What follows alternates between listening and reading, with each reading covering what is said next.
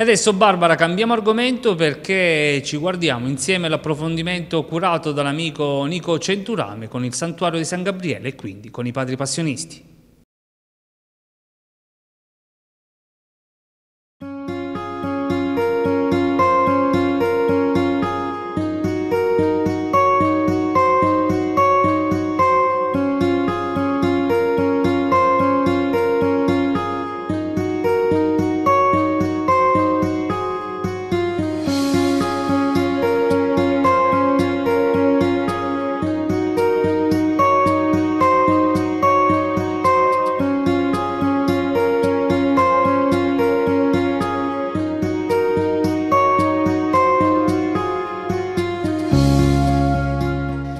Benvenuti nel museo della Camera di San Gabriele. Qui possiamo vedere gli oggetti che sono appartenuti o che sono, hanno un riferimento a San Gabriele. Innanzitutto troviamo tante cose che il, questo museo ci presenta, sono gli ex voto che l'abbiamo già visti e rivisti, ma in questa stanza hanno un tono ancora più particolare. Iniziamo con questo primo ex voto che parla di Maria Mazzarello, che è una eh, donna di Isola che aveva la stessa malattia di San Gabriele e che eh, chiede eh, l'aiuto di una grazia proprio a San Gabriele, la quale eh, gli viene concesso di ricevere la cinta che è stata ritrovata dopo la risumazione del corpo di San Gabriele dalla sua tomba e gli è stata messa ai suoi fianchi. Lei era ormai in coma, malata di tubercolosi e stava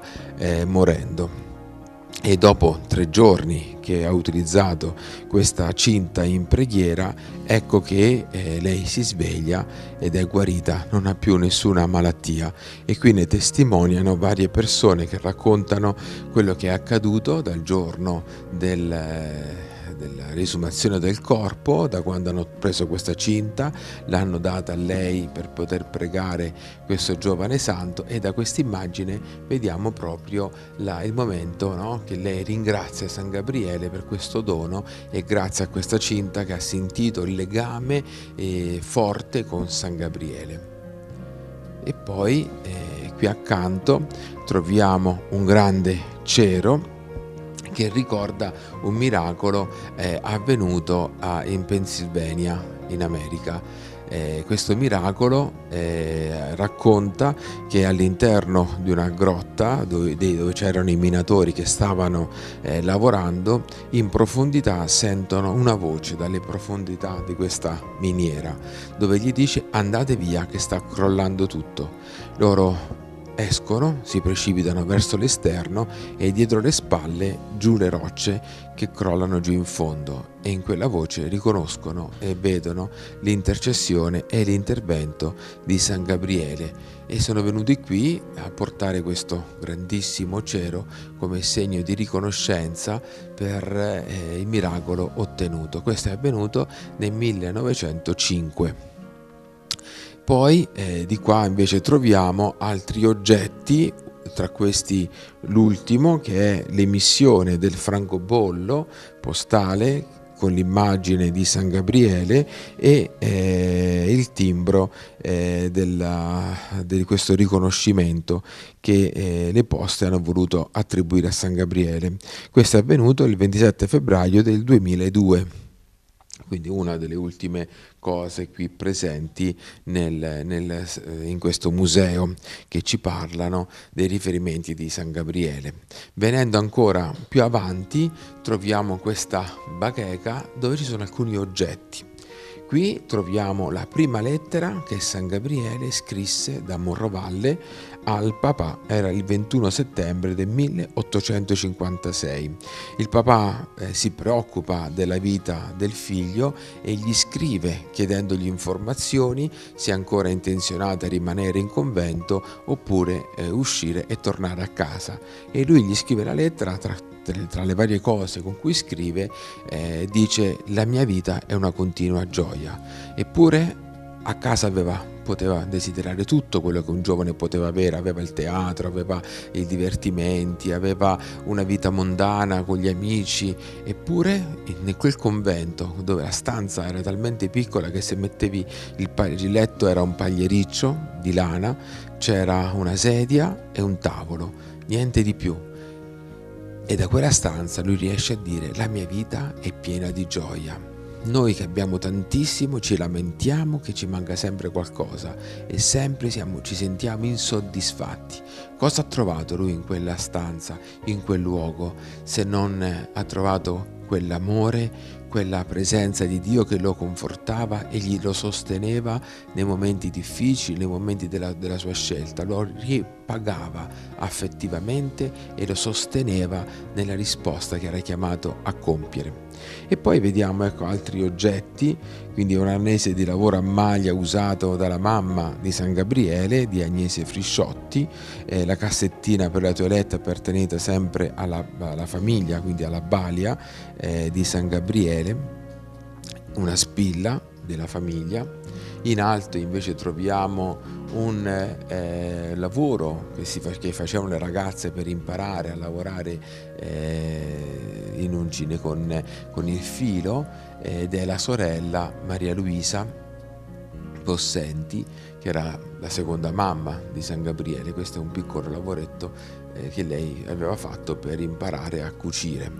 Poi troviamo qui, eh, in questo quadro, eh, la presenza di tutta la famiglia, l'albo della famiglia, quindi il papà, la mamma, eh, Sante Possenti che è originario di Terni e lavorava per lo Stato Pontificio, mentre a destra troviamo Agnese Frisciotti, la mamma di San Gabriele, originaria di Civitanova Marche. Loro si sono sposati a eh, Civitanova Marche e da questa loro unione, da questa famiglia, nascono ben 13 figli che troviamo tutti quanti qui. E quattro di questi 13 figli sono morti in tenera età mentre gli altri sono riusciti a vivere un po' più a lungo nella loro eh, esistenza, nella loro vita.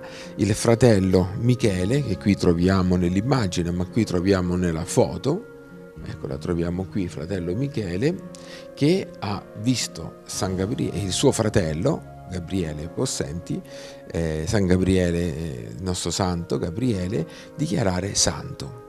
Quindi l'ha visto sia quando il Papa l'ha dichiarato beato, sia quando l'ha dichiarato santo. E qui invece troviamo l'immagine del fratello di eh, Agnese Frisciotti, padre Giovanni Battista Frisciotti, che eh, era guardiano, cioè superiore del convento dei Cappuccini che si trovava a Morrovalle. E il papà, prima eh, tra il vario itinerario, percorso che ha, che ha, guidato questo figlio fino ad arrivare poi al convegno dei passionisti a Morrovalle, il papà gli aveva detto di andarlo a trovare, andate a trovare lo zio padre Giovanni.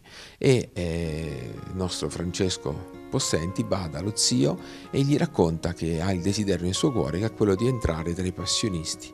E il, lo zio eh, fa di tutto per convincerlo a non entrare in convento tanto che gli dice che la vita dei cappuccini è molto dura, ma quella dei passionisti è peggio, non andare in convento. Ma lui eh, si sente proprio chiamato a questa vita così austera, così dura, che è presentata nella figura dei passionisti, che supera anche quell'ultima insidia e poi ecco, il 9 settembre del 1856 entrerà in convento e successivamente poi con la sua professione prenderà il nome di Gabriele della Dolorata. Andiamo ancora avanti in questo eh, museo e qui troviamo altri eh, oggetti. Eh, qui abbiamo una, eh, un'immagine, un fumetto eh, della vita, eh, quando lui eh, andava a scuola, eh, vita scolastica, in cui prendeva in giro i compagni di scuola. E possiamo dire che era anche eh, vignettista, eh, come i vignettisti di oggi che sui giornali mettono delle immagini goffe, prendono in giro politici o attori o personaggi famosi, lui prendeva in giro i compagni di scuola tirando fuori gli aspetti goffi, buffi che avevano i compagni di scuola. Troviamo altre immagini che eh, San Gabriele aveva tra i suoi libri, tra gli oggetti che lui aveva toccato e qui troviamo anche eh, la, il giuramento nel giorno della eh, professione religiosa in cui lui si impegna a vivere eh, una vita eh, di preghiera, mantenendo i voti di povertà, castità e obbedienza.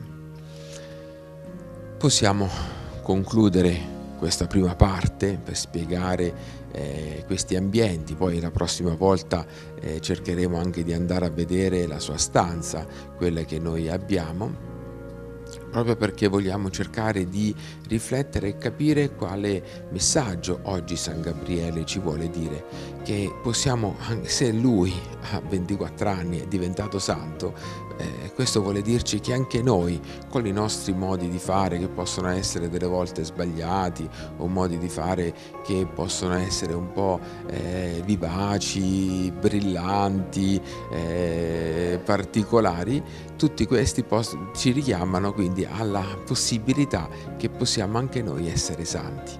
Quindi l'invito che oggi San Gabriele ci dà a ciascuno di noi è siate santi. Volete essere felici? Siate santi.